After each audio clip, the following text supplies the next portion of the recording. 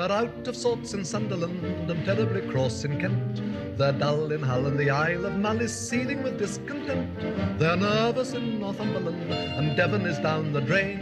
They're filled with wrath on the Firth, the Forth and sullen on Salisbury Plain. In Dublin they're depressed lads, maybe because they're Celts.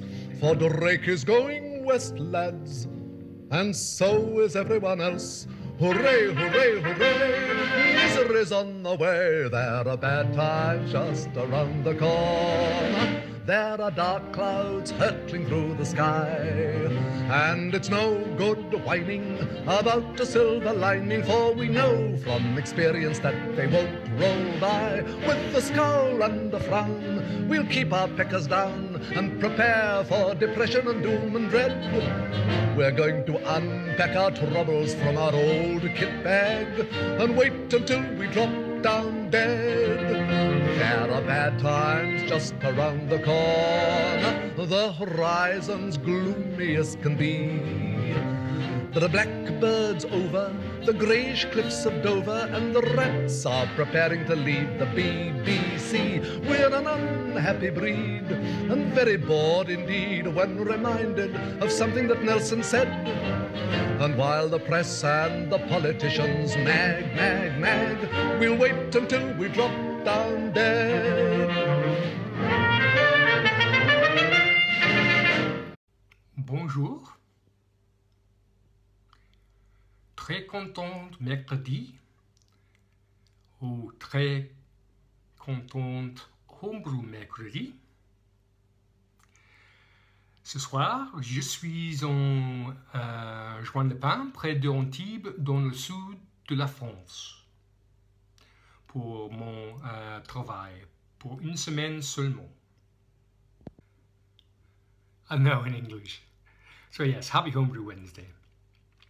Um, as I said earlier, I'm here for a week for work, doing some uh, French language skills, and we're better to learn some new and better French language skills than in the south of France. Uh, unfortunately, the weather hasn't been brilliant whilst we've been here.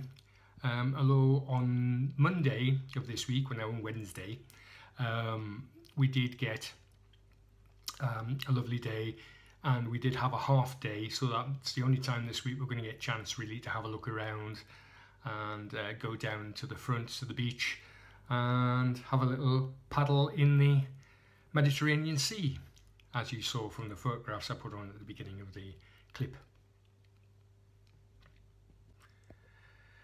There aren't great amounts of beers to choose from or decent beers to choose from in the south of France um, it's not noted for its fantastic beers. And in fact, since I've been here, the only one I've had on uh, on draft is Affligem, which is in fact a Belgian beer, um, which is very tasty. But of course, it hasn't all been hard work whilst I've been here, as you've seen from a couple of the pictures. But I thought I would review a beer today that I found in the local Spar, uh, which is not far from where I'm staying in the student accommodation. And just for a change, because I haven't had it, I thought it might be nice to share that with you. So it's coming now.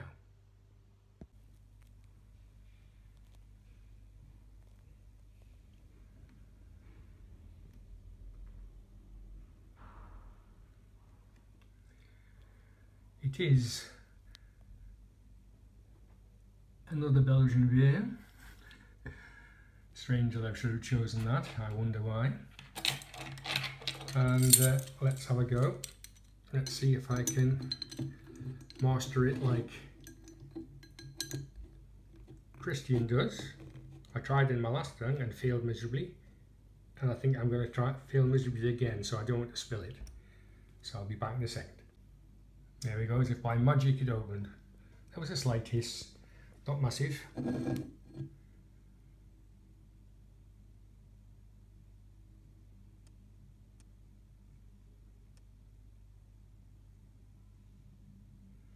not massively strong.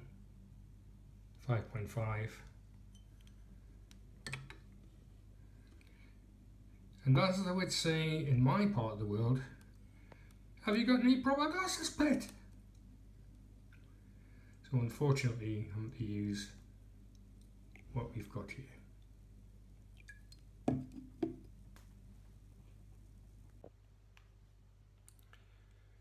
So cheers my friends on the, uh, what's it called again? Mort Subite White Lambic, or Wit Lambic rather, although it is a white beer. Cheers. Oh, you've got normal smell in there. I suppose I shouldn't say cheers, should I? I'm in France, I should say salut. Or à votre santé.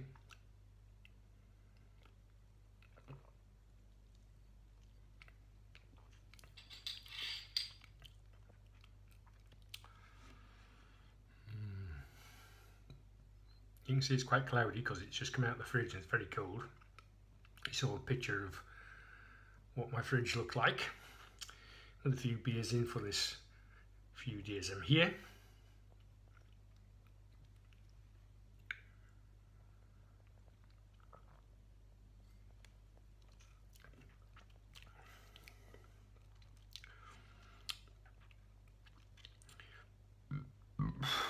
Pardon me.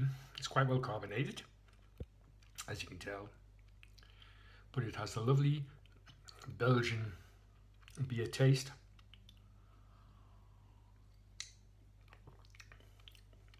Now, I was, I was also expecting a slightly more acidic flavour with it being a lambic, but it's it's really nice. It's smooth. Um, it's French French questing. Oh, that's very good. Five and a half percent, twenty-five centiliters and it's French questing. Um, of course, what I meant to say was it's thirst quenching. I'll never live that one down. Just wait till I've had the four that's in there. Crumbs. So yes, very nice indeed. So, whilst I've been here, sorry about the, the jiggling, I'm uh, recording this on my phone as I'm on uh, location and I'll transfer it over onto the laptop later on this evening and get it loaded up for you guys. Um, yeah, so this week it's been uh, busy. I arrived here Sunday. It was pouring with rain. I mean, pouring with rain. And uh, you know, it's not something you expect in the south of France. I think, I believe they get about 30 days rain a year. Uh, but it was, as they say in um, French, il pleut comme une vache qui pisse. It's raining like a pissing cow. I think that's far better than cats and dogs, don't you? Anyway, that's exactly what it was doing on Sunday. Oh, I'm at an angle there. Uh, Monday, sun came out. Uh, lovely sunny day. In the morning, I was in lessons learning my French grammar. Uh, that's not my grandma who's French, of course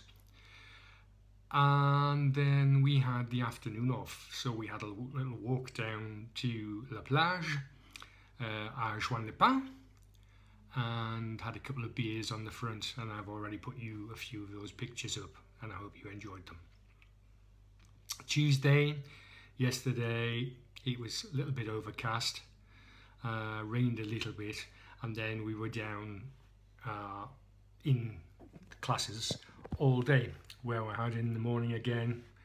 Grammar, grammaire,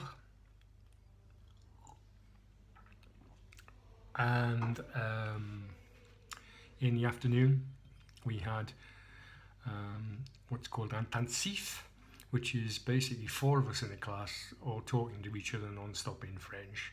Uh, and we've been using the uh, the imparfait and uh, the passé tense of the past tense. So uh, it's been quite full on. Today, very similar, going over there again. Um, and then the weather, it's been nice today, as you've seen a few pictures from today as well. And uh, unfortunately this evening, it's been raining a little bit. I'll show you a view out the window, don't know how, it, how it'll go. So you can see it's a little damp a little bit of sunshine up there, but we are getting on late in the evening now. Forecast tomorrow is very hot um, and very sunny. So shorts and t-shirt are the order of the day. I'll see if I can sneak out at lunchtime to get a little bit of sun, uh, coffee, and then we're out for an evening meal. I'm not having an evening meal tonight because I'm filming this for you guys. Um, but I'm sure I'll make up for it tomorrow night, and uh, you know I, am sure you, you won't mind me doing that. So that's about all I've got to say for this week. Uh, when I get home, the Citra Pale should be ready. It should have finished dry hopping. Uh, so I get home on Saturday uh, tea time, uh, four o'clockish, and um, on Sunday I'll keg the uh, Pale and we'll see how that goes. I may take some footage of that for next week. And that's about it. I hope you're all keeping well. I'm catching up with all the SJ Paul videos. Been really good. And uh, that's it for this week. Thanks for watching. Thank you for tuning in and subscribing. And I, uh, please write some comments below as I really appreciate the comments you make. And we'll see you on the next Homebrew Wednesday. Till then, au revoir et à bientôt.